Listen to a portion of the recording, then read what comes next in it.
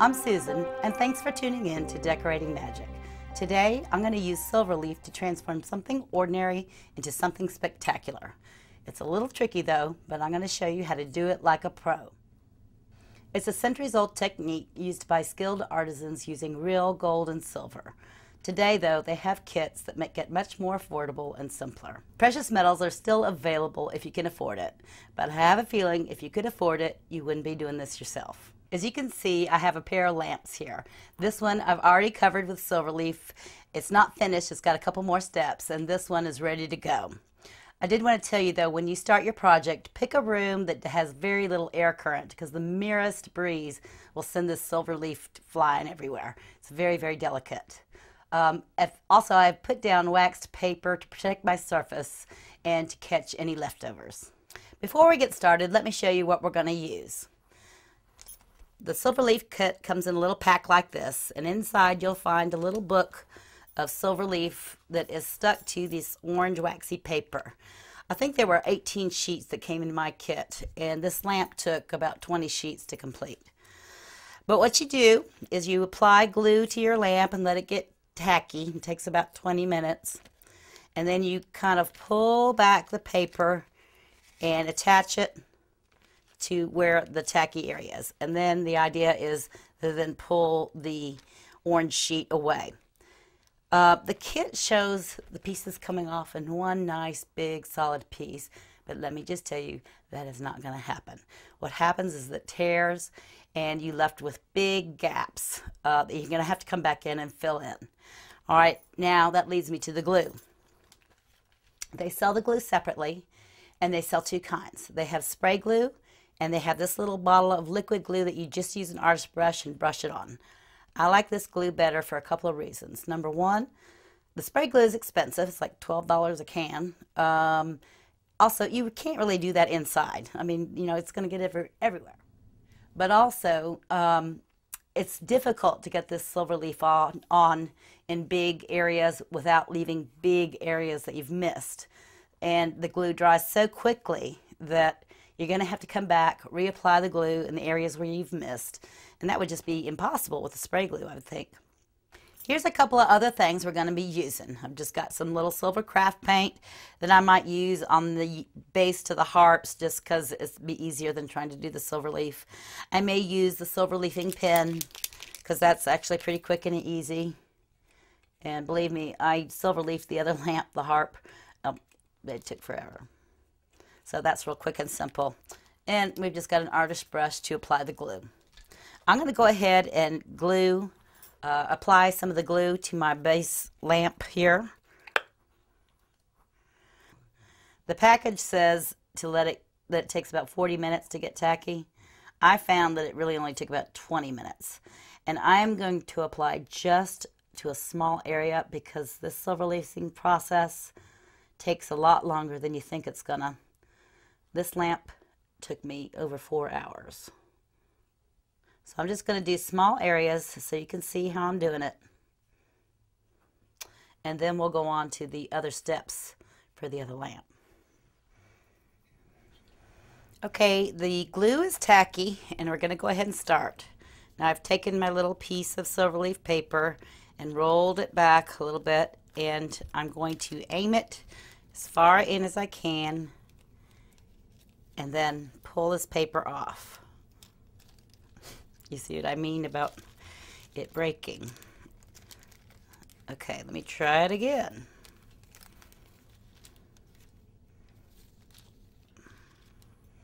Sometimes I use a little chopstick to help me guide it. But it will stick immediately to the glue. Like I said, this glue dries pretty quickly. And this whole process takes a lot longer than you think. It's almost like you're putting a puzzle together or making a mosaic. And that's, again, why I like the brush on glue better because you know you're going to have to go back and reapply it. Try not to overlap it though because it will not stick to itself, just to the areas you've glued.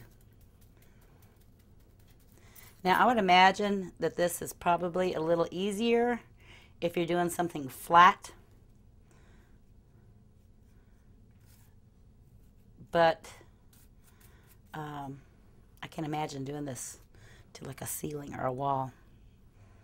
And just take your time. It's kind of fun.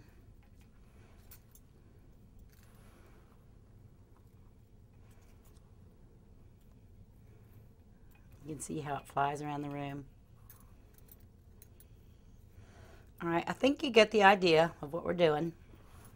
So I'm going to put this lamp to the side and then we're going to work on the other one. I'm going to finish it up. Okay, now we're back to this lamp and we're going to go ahead and finish it. Here's what we're going to do. We're going to take a soft brush and we're going to go around and get all the little pieces that aren't stuck on. We're going to get that all off. Then I might patch up some of these little holes using my little silver leafing pen. Um, and then I'm going to put an antique glaze over it. Just It's a little bit too shiny bright for me. And um, I'm going to use a, an antique glaze that I've made. Um, I'm going to have the complete instructions in the written portion of the video description to show you how to do that.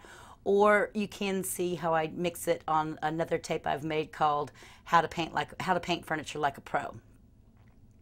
All right, and then after after the glaze dries, I'm going to seal it with polyurethane and then we'll talk about lampshades. You can see all that stuff just flying everywhere. And one reason I put two coats of polyurethane on is so that this doesn't continue to come off. And this brush I'm using is actually, actually just a makeup brush that I don't ever really use. But you see, quite a bit comes off.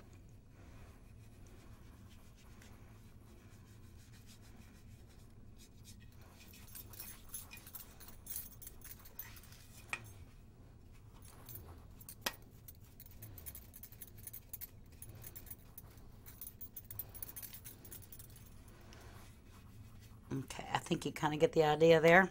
Let me use my silver leafing pen to sort of fill in these larger gaps. Although I don't mind them. You know, some of the larger ones I'll fill in, but the little ones are fine, I think. That's just a matter of personal preference, though.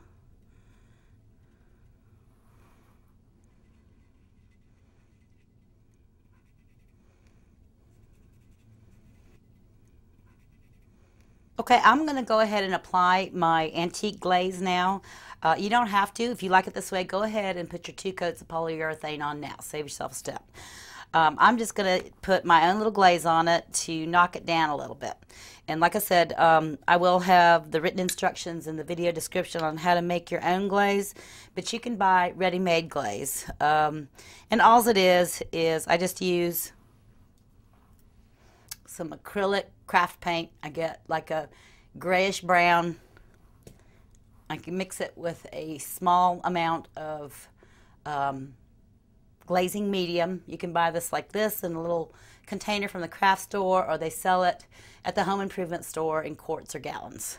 And basically the ratio is, oh, like one part color to three parts glaze. And actually, um, All's glaze is is untinted paint. So by putting in a little bit of the brownish gray paint and adding glaze, you're making it transparent. The more glaze you use, the more transparent it is. And basically all it really is is faux dirt.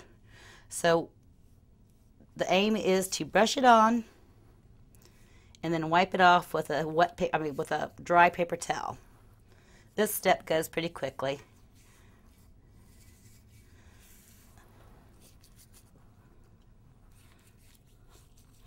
And you know it'll just tone it down a little bit. Some of that paint will get stuck in the little nooks and crannies.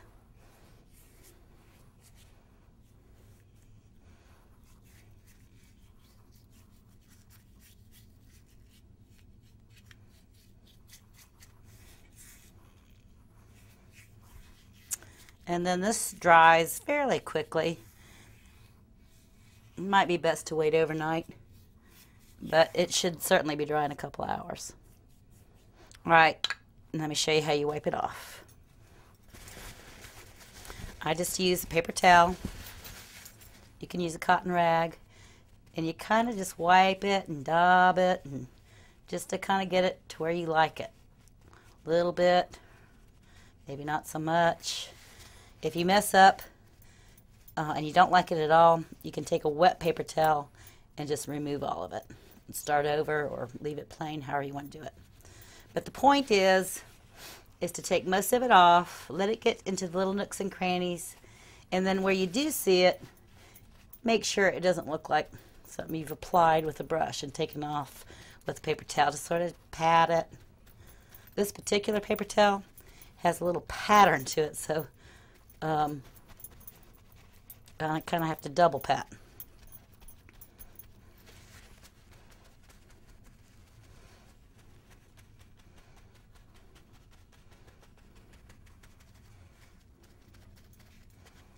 Most people wear gloves, but I just can't seem to do that. But it does wash off with soap and water, so it's not really a big deal.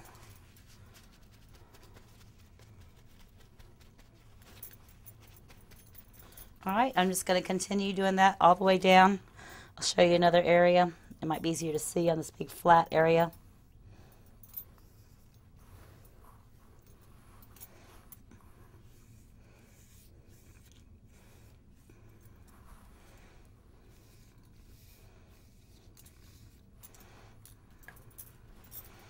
And it's really on these kind of flat areas where it's harder to make it not look so contrived. Kind of have to pat it in.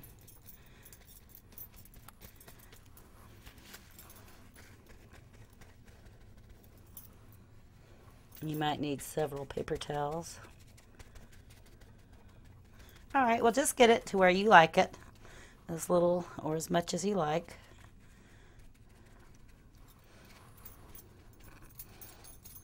But it's, it's knocked the shine down a little bit, but it's still very silvery. I let the glaze dry a couple of hours and then I went ahead and put the first coat of polyurethane on. Uh, and I'm just about to put on the second coat. Um, as you can see, there's none of that loose flaking anymore. Everything's all nice and sealed in. Uh, and the reason I put two coats on is because, well, just for extra protection, but also because I can never tell where I've missed with polyurethane because it's kind of hard to tell where you've been. So I'm just going to go give it a quick coat all the way around. And this dries pretty quickly. A couple, really probably 20, 30 minutes. Um, and then all you have to do really is uh, wait till it's all the way dry. Let it cure for a day or two before you really use it. And then you'd be done. But I did want to talk about lampshades. I've got a couple different styles here, and I want to, see which one I like the best. Keep the coats thin so it's not all gloppy. And I use uh, water-based polyurethane just because it's a lot easier on the cleanup and it doesn't smell as bad. And I usually use I usually use matte uh, for most of my painted projects. But in this particular case, I want it to be shiny, so I'm going to use uh, gloss or semi-gloss. I actually am using semi-gloss because that's just what I happen to have. And if this isn't shiny enough for me when I'm finished, I may take it outside and um, use some spray polyurethane, some high gloss spray. I don't really recommend that for really sealing a project. But for instance, if I'm decided I don't really like the um, the sheen on this, if I want more sheen, I'll go outside and spray it. And I may do that because this is looking a little dull to me. I want to show you a couple possibilities with lampshades. Now this is the lampshade that came with the lamp. It's a traditional bell-shaped um, lampshade. And first of all, the color is all wrong. It needs to be white. Black would look pretty. If you could find a nice silver one, gray. Uh, but other than that, it looks a little low to me. If you could bring it up a little bit like that, that would look better in my opinion. And a way to do that would be simply to get a larger harp. These harps allow you to use different size lampshades uh, without having to buy a new shade. I'm going to try this round one.